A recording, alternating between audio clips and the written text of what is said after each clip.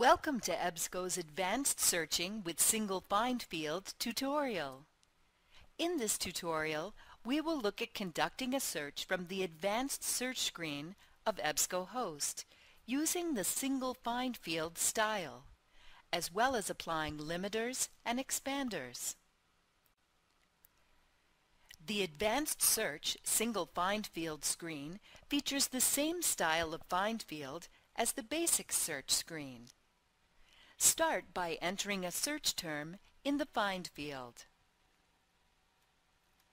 The Advanced Search screen offers search modes, expanders, and limiters for increased result refinement in the Search Options area.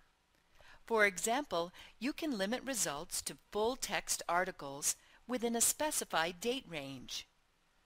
Apply your desired limiters or expanders and click Search to view the result list. The result list for your search is displayed and defaults to showing all results. It is easy to further limit your results using the limiters under Refine your results on the left.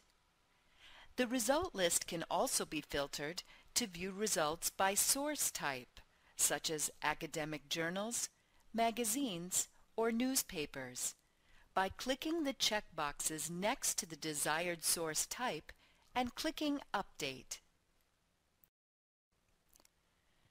You can print, email, save, cite, or export a single result from the detailed record when you click on a title link.